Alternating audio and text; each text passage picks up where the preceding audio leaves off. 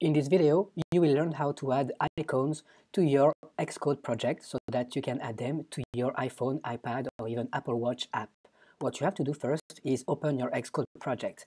Once you go to the build settings, I'm sorry, to the info tab, you will see the icon file setting right here, and then the icon files settings. And the one you're interested in is this one, the icon files.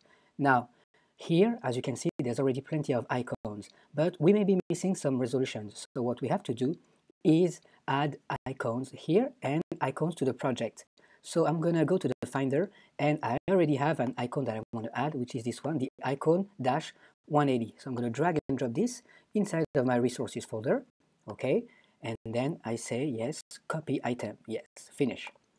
Now I do have the icon right here, and I'm going to add its name to the icon files, okay?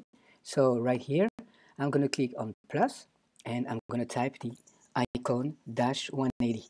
Now, as you can see, I do not need to put .png file. It automatically knows that it's a PNG file and it has to be a PNG file with no alpha transparency. Okay, no JPEG or GIF files. All right, then you can do a product clean and then once the clean is succeeded, you can do a product archive or run. Thank you for watching and uh, just repeat this process to add as many icons as you need.